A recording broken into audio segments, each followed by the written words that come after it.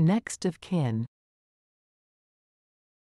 The idiom, next of kin, refers to the closest living relative or relatives of a person. It is commonly used to describe family members who would be contacted or have legal rights in case of an emergency, illness, or death. The term is often used in legal and medical contexts to determine who should be notified or involved in decision-making processes.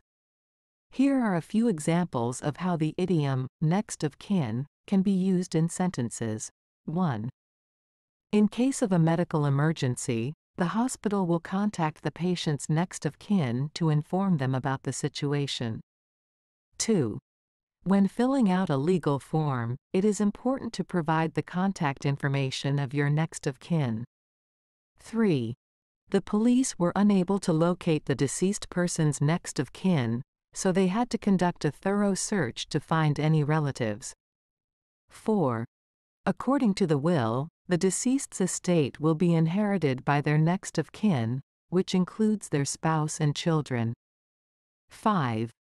As the patient's next of kin, you have the right to make medical decisions on their behalf if they are unable to do so themselves. Overall, next of kin is a term used to describe the closest family members who have legal rights and responsibilities in various situations. It is essential to keep this information updated and readily available to ensure effective communication and decision making during critical times.